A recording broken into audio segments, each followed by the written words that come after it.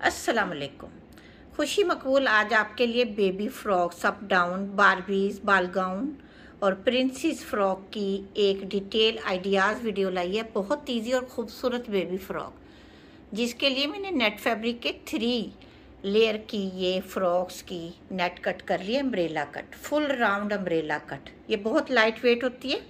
आप लेयर एक कटिंग करें, दो करें, तीन करें, ये आप पर डिपेंड करता है।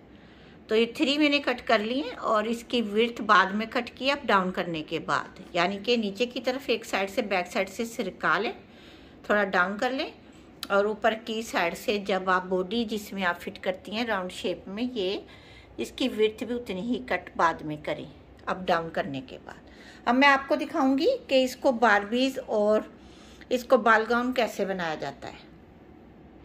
जिसके लिए मैंने एक नेट फैब्रिक लिया है, चकोर पीसेस कट कर लिए, काफ़ी सारे। विर्थ का कोई इशू नहीं लेंथ विर्थ जितनी आप चाहें, ऐसे चकोर चकोर पीस नेट के काफ़ी सारे कट कर लें।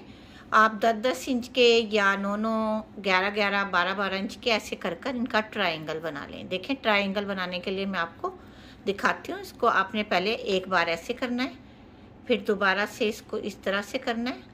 अगर थोड़ा बहुत फैब्रिक अप डाउन हो भी जाए, कोई इशू नहीं, चकोर पीस ना थोड़ा सा अप डाउन कर लें और इस तरह से शेप देते जाएँ, ये देखें। इसकी शेप देना कोई ज़्यादा मुश्किल नहीं, जिस तरह की भी शेप आप देंगे, ये बेस्ट बनेगा। ऊपर से आप चाहें तो कट कर लें सुराख, लेकिन अगर आप ना चाहें तो इसी तरह से स्टिच कर लें। अब मैं आपको लगाने का तरीका बताती हूँ। अब ये हमने क्या करना है, इसी जितने भी मैंने पीस कट किए, अभी दिखाती हूँ आपको, ये रखते हुए जाना है, तरतीब से एक दूसरे के भी कुछ साथ साथ ये मैंने बहुत सारे कट कर लिए हैं, जिसकी वजह से बारबी लुक देंगे। अब ये देखें, ये हाथ की मदद से से भी आप स्टिच कर सकती हैं या मशीन की मदद से भी।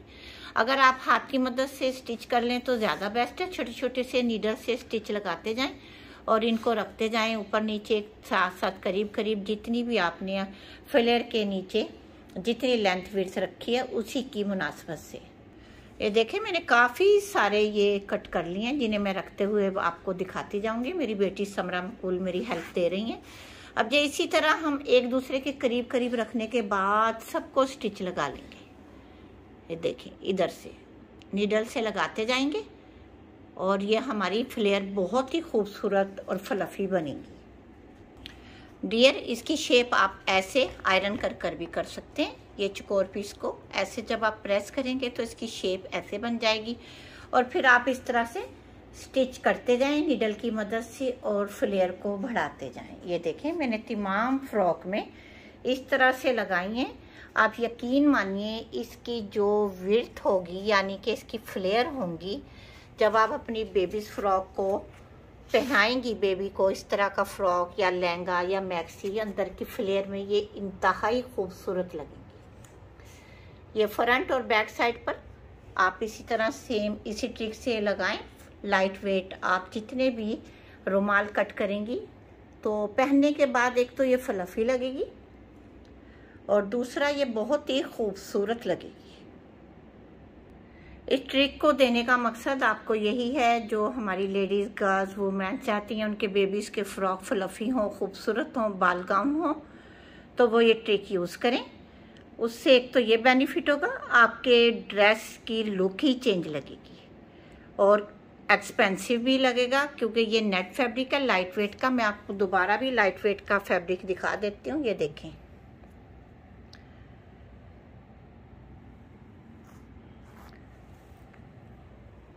इस तरह से आप इसकी शेप बनाती जाएँ।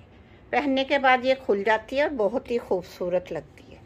उम्मीद करती हूँ आपको मेरा ये आइडिया अच्छा लगा होगा। आप अपने ड्रेसेस और अपनी मैक्सीज के लिए भी यही ट्रिक यूज़ कीजिएगा और थंबनेल पर इसकी लुक देखिएगा, मैक्सी की या फ्रॉक की, जो भी हम ड्रेस के अंदर ये ऐड करेंगे। ओके, अल्लाह हाफिज़।